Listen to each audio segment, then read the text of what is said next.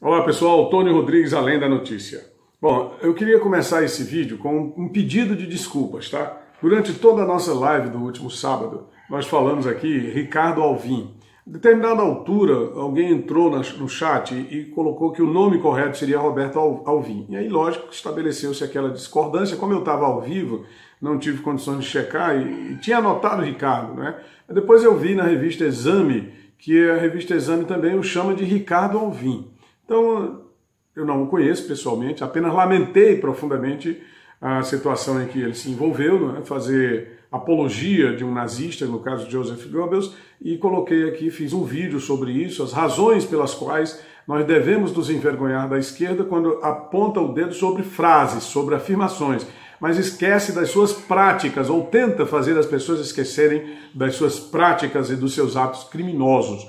E fiz também uma retrospectiva sobre a permanência da esquerda no poder a, através do, dos governos de esquerda assumidos e da luta entre os grupamentos existentes na época do Estado Novo. O totalitarismo não significa dizer que seja de direita, tá bom? No caso, é, o nazismo tropical de Getúlio Vargas, ele foi uma coisa que coroou a, a, trajetória da esquerda brasileira, embora muitos elementos do Partido Comunista tenham sido proscritos até mesmo por uma questão de, de sobrevivência do esquema. Uh, o caso, um dos casos mais notórios é o Luiz Carlos Prestes, que, que teve sua mulher, Olga Benário, enviada para campos de concentração nazistas, e somente um governo colaboracionista com o nazismo, um governo que colabora com o nazismo, poderia ter enviado a, a mulher de um, de um dos seus principais opositores, não necessariamente de partidos discrepantes, mas oposição ao governo, não ao regime, para campos de concentração na Alemanha. Então, isso é mais uma das demonstrações. Depois falei também sobre os campos de concentração, isso na live, né? Mas hoje eu, o tema é outro aqui. Eu queria falar sobre Aécio Neves o cidadão me pediu um, um vídeo sobre a, como é que está o Aécio Neves hoje, né? O que é que, que, é que tem feito o, o ex-presidenciável, o cara que quase foi presidente da República do Brasil. Bom, a história é a seguinte: ele só tem que falar também do PSDB, não pode falar só do PT. Mas aqui no, no, no caso era um vídeo sobre a, a falência do, do, Estado piauiense sobre o governo. O PSDB nunca governou o Estado do Piauí. O PSDB governou o Brasil. PSDB governa a prefeitura de Teresina. E a gente pode fazer uma comparação entre o governo do estado do Piauí e a prefeitura de Teresina? Não! Porque a prefeitura de Teresina é infinitamente superior em tudo. Começa que não tem escândalos de corrupção. Em seguida, a gestão é eficaz do prefeito Firmino Filho e dos que o antecederam. No caso, Dr. Silvio Mendes, que foi prefeito também de Teresina, o professor Wal Ferraz, que era do PSDB, austero, íntegro, ah, mas existia um erro. Sim, claro, nós estamos tratando sobre seres humanos, seres humanos não são perfeitos. Então começa por aí. Não tem como eu fazer uma comparação entre o PSDB e o PT no governo do Piauí. E no governo brasileiro, todos sabemos qual foi a grande contribuição que o PSDB deu para que Lula chegasse ao poder. Qual foi a participação do PSDB na campanha presidencial de 2018, quando apresentou um candidato que não era competitivo, com a finalidade única de privilegiar Fernando Haddad do PT. Mas o, o, o caso termina me chamando à reflexão sobre um outro indivíduo. Inclusive o Aécio Neves foi o meu candidato à presidência da República em 2014. Eu não nego isso para ninguém, não estou aqui para mentir para vocês, eu estou aqui para falar a verdade. E não estou aqui para dizer também que todo jornalista tem que ser santo, como eles fazem aí, a ética do jornalismo é o princípio da sua imparcialidade, e isso é mentira. Eu também já fiz um vídeo sobre isso. É mentira, não existe jornalismo imparcial. Esses caras montam empresas jornalísticas para ganhar dinheiro dos governos aos quais são aliados. É por isso que eles hoje estão completamente desnorteados, fazendo matérias mentirosas, matérias infames. Folha de São Paulo, Jornal o Globo, Sistema Globo de televisão, o Sistema Globo de comunicação como um todo, está todo mundo pirado, né?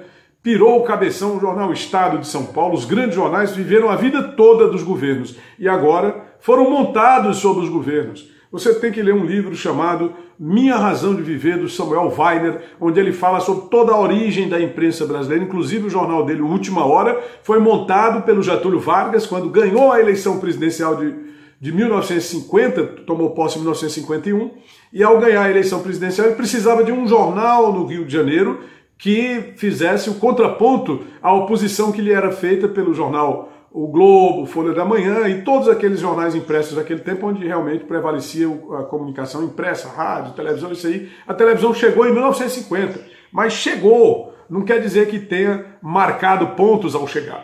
O negócio mesmo eram os jornais impressos. Mas o Aécio Neves o Aécio Neves, ele, ele ainda está livre. E por que, que o Aécio Neves ainda está livre? É o questionamento que muita gente se faz ainda hoje. Não é? Por que, que o Lula foi preso, o Eduardo Cunha foi preso? Por que, que o, o Argelo foi preso? Ou então aquele gordinho lá da Bahia, né? aquele gordinho lá que tinha 51 milhões no apartamento, o Gedel Vieira Lima, que também fez parte do governo do PT. Então, todos os elementos que fizeram parte dos governos do PT foram para a cadeia, inclusive o principal, que era o governante. Está faltando a Dilma também, viu? O Aécio hoje é deputado federal e, como deputado federal, ele tem imunidade parlamentar na questão processual. A Polícia Federal pode tê-lo investigado. A Polícia Federal pode ter identificado um ato criminoso da parte dele, no caso daqueles 2 milhões e 600 mil reais do Joesley Batista, chamam Joesley Safadão, né? Que tem um outro irmão que é o Wesley Batista, JBS, o grupo JBS ou JIS. Mas ele tem imunidade parlamentar e a imunidade parlamentar lhe confere o direito de ser processado apenas com autorização do Congresso, dos seus próprios companheiros de Câmara Federal. Então, para que se processe, depois do inquérito, você encaminha para o Ministério Público, o Ministério Público faz a denúncia e tem que encaminhar para o Congresso pedindo autorização para que esse elemento seja processado. Veja bem, os passos que se tem para processar, a não ser que a própria casa abrisse um procedimento investigatório no Conselho de Ética ou comissão processante específica por uma denúncia de quebra de decoro parlamentar. Eles não acham que corrupção seja quebra de decoro parlamentar, como fizeram a pressão popular com José Dirceu, com Eduardo Cunha, terminaram caçando e aí rapidamente eles foram processados e condenados. Mas no caso, ele está livre também, o segundo motivo, eu aponto aqui três motivos, porque ele perdeu importância política.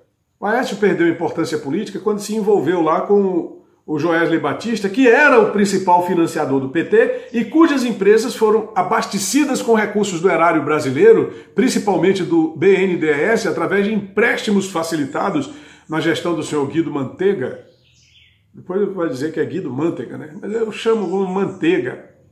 Na gestão do senhor Guido Mantega, foram liberados empréstimos e ainda antes também, não é, sob uh, ministros anteriores, senhor Palocci, que hoje é dedo duro do PT.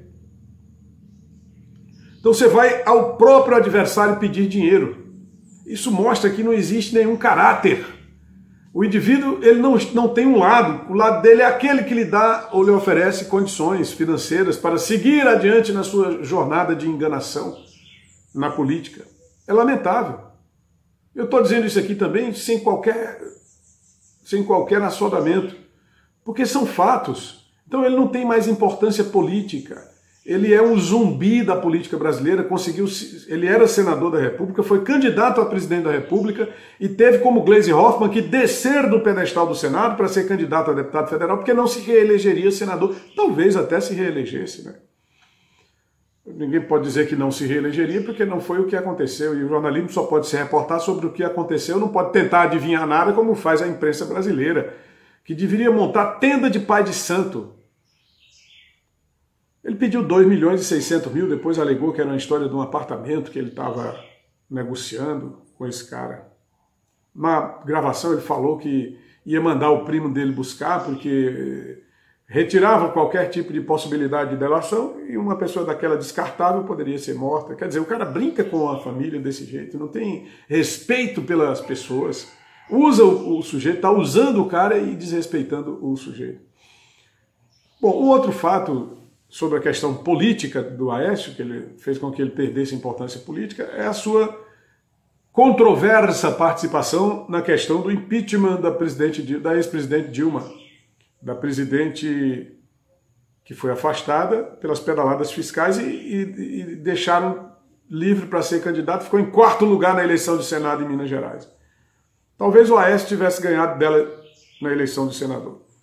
Mas ele foi contra o impeachment no começo, se recusou a receber manifestantes de três grupos que atuaram decisivamente, que são grupos populares recrutados nas mídias sociais, que eram o grupo MBL, Revoltados Online e Vem Pra Rua. Fizeram uma caminhada de centenas de milhares de quilômetros até Brasília e quando chegou lá o Oeste, não, não, vou receber porque não se fala em impeachment aqui, nossa, é proibido falar em impeachment. Tem a gravação desse cara dizendo isso. Foi contra o impeachment, depois votou pelo impeachment. Quer dizer, nem posição tinha, foi pelo. Né, foi guiado pelo traseiro. Entendeu? No Nordeste a gente tem um ditado que é assim, guiado pela bunda, né? Foi guiado pelo traseiro para ser civilizado. O terceiro ponto foi a campanha de depreciação moral contra ele, patrocinada pelo PT naquilo que se chama comumente de assassinato de reputações. Eu tenho um livro do Romeu Tuma Júnior. Tem dois volumes, escrito pelo Júlio, César, Júlio Cláudio Tonholi. Foi pedido, inclusive, sua expulsão do PSTB. Foram feitos dois pedidos, todos dois arquivados, o que mostra que ele ainda tem muita força no PSTB.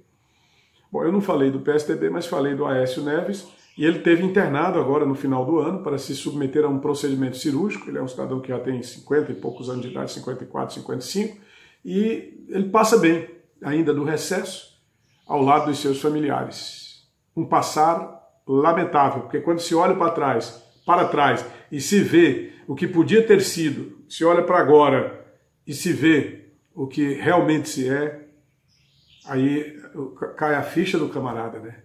Você faz o que é que eu, o que é que eu fiz com a minha vida, o que é que eu fiz com o Brasil, desonrando inclusive a memória do seu avô, Tancredo Neves, que foi eleito presidente, morreu sem tomar posse. Deixe o seu gostei, se inscreve no canal, ative as notificações. Muito obrigado. Tony Rodrigues, Além da Notícia.